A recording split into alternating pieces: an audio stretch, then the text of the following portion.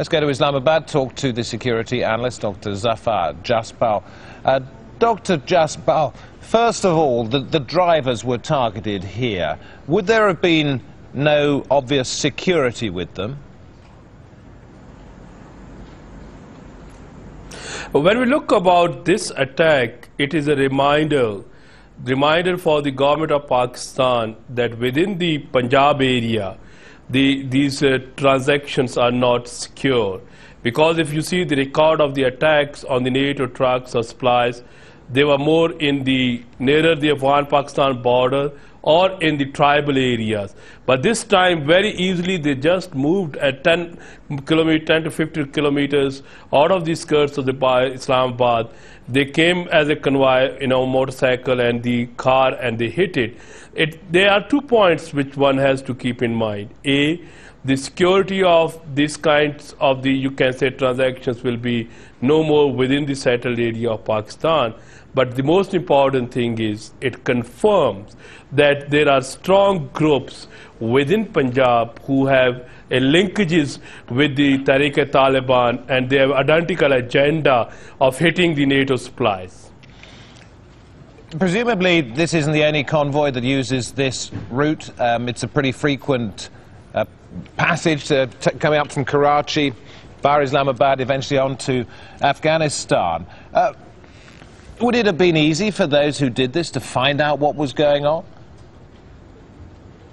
I think that eh, it is very easy for both the terrorists that if they if you see that from Karachi they come via uh, either Indus Highway or they go for the Lahore and then they come on this uh, what we call it Grand Trunk Road. So naturally, when the convoy is moving, uh, people are, it's not a hidden camouflage convoy.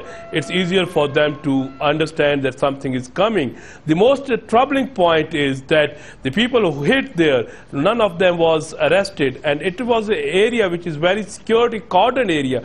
Because if you go five or 10 kilometers ahead, there are the major Pakistan military industrial complex which built the weapons for the country. And that is area is a very sensitive area. In that area, if they emerge and hit this kind of convoy, naturally it's a disturbing element. And therefore, are, are those who use this route, the NATO forces uh, in this case, are going to have to change their plans, and would it be therefore more difficult for them to get supplies into Afghanistan?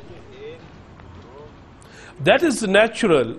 For example, if we focus on the NATO forces supply lines, they have alternative route from the Central Asian sites, but they are very difficult. But on the, in the case of Pakistan, this is the only route where, which can go. Otherwise, you can say that, let's say, from Gwadar to the uh, Chaman, that is not workable. It's more dangerous. I think this is the most economical, secure route for them, despite the attack. Yes, we have been hearing since long, since the start of the this uh, operation and the NATO when came that they were looking for the alternative routes from the uh, what we call it Central Asia. But that is too difficult for them because once from Central Asia, then they have to travel within Afghanistan. So these are the things which NATO has, has always been considering. I think that is a trouble for the NATO as well.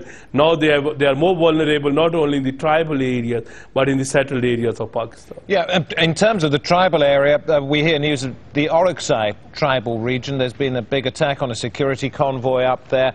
Around about half a dozen soldiers, I think, died, maybe 40 fighters also killed when we see this sort of thing, does it mean we're seeing a particularly um, new sort of tactic to, to attack those that are moving around on the roads, uh, much as we've seen in Afghanistan?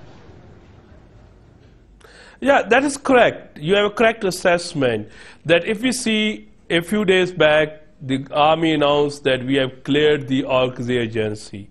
But the today's news was very much disturbing. That indicates that the people, the Taliban, Tehrik-e-Taliban, or their, these kinds of the groups, they have been reassembled in that particular area, and the area which was considered cleared, they hit there. My own understanding about this strategy is that uh, if you see that government of Pakistan and foreign minister of Pakistan yesterday said that we are looking uh, for the option and we are going going to think when we move into North Waziristan. In order to keep the army engaged in Orakzai and within the, you can say, Punjab, the law enforcement agencies, this could be a tactic to increase the pressure to engage the law enforcement agency and army out of the North Waziristan so that they should not reach the hub of these, uh, you can say, the terrorist organizations where they have been residing. That could be a what we call it a new tactic that which is a part of their grand strategy that to keep the armed forces checked so that they should not move in the North Waziristan. Thanks very much indeed, Dr. Jaspal.